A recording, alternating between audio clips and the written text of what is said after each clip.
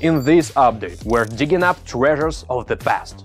Keep watching this video and we will tell you how you can get your share of the discovered riches.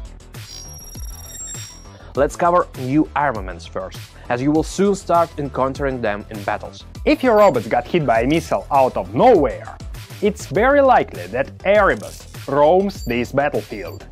This insidious sniper waits for the right moment and literally disables its opponents while staying away from their guns.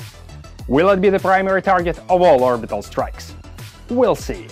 For now, enjoy some action in our robot overview here. You can now light up the enemy positions with Prisma lasers. Their destructive rays deal more damage at a greater distance, however, they are very weak at point blank. It is somewhat of a risk, yes, but imagine how great it would feel to get Canyon or Springfield in map rotation. Now, it's time to get rich and famous. Well, technically it's only these two who get famous, but we all can win something by investing in their endeavor. Jet Parks and Ricardo Gonzalez are searching for artifacts of human civilization on Earth. Jet is a foolhardy adventurer who is always looking for trouble. Ricardo prefers a more cautious approach and will never pick up an unnecessary fight. By the end of this event, one of them will salvage more antique treasures than the other, and it all depends on you.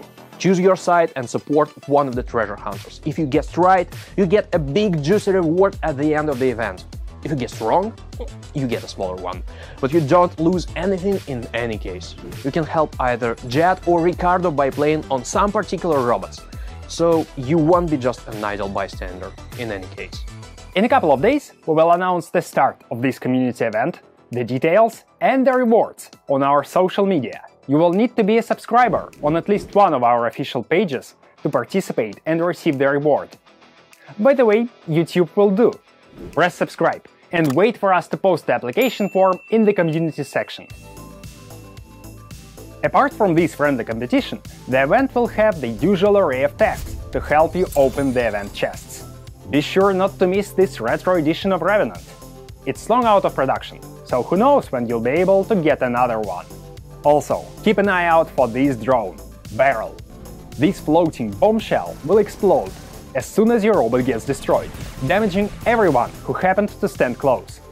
Jets and Ricardos of the future will have nothing to salvage from your combat machine. While our treasure hunters were preparing for excavations on Earth, we dug up and fixed some old bugs. For example, the Retribution rocket launcher on Hades got fixed and now never shoots blanks. Of course, it's only a small portion of what we have fixed and optimized before this release. As always, the bulk of the work goes unseen, and it would take us hours to describe what we mean by various optimization tweaks. But we try to have them in each and every update. We are always ready to tell you more in our community updates on Reddit. We'll leave an example link in the video description. Join us there to stay updated on everything that happens to War Robots. And finally, let's take a look at these absolutely beautiful HD graphics. If your device is powerful enough, you can already turn them on in the game settings.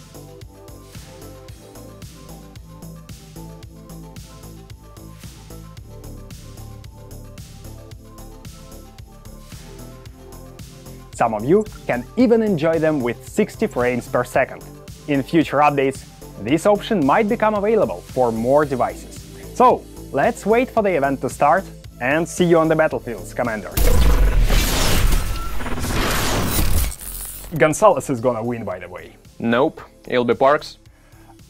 I've seen the requirements, and there's literally no way that Jet wins. So what? I've seen them too, and I think in this meta, it's going to be Jet. And lower leagues, they count as well. Well, Steel Parks. You simply like his story, right? Well, I think this might be the best way to pick sides, yeah. We'll see, we'll see.